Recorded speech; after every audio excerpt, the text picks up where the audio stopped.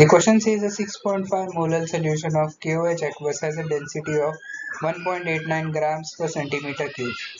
The molarity of the solution is dash. So there is this simple formula for converting of for conversion of molarity into molality. That is small m will be equal to 1000 into capital M upon 1000 into D minus m into molarity of solute. So therefore we have 6.5 to be equal to 1000 into molarity upon 1890 into molarity into 56.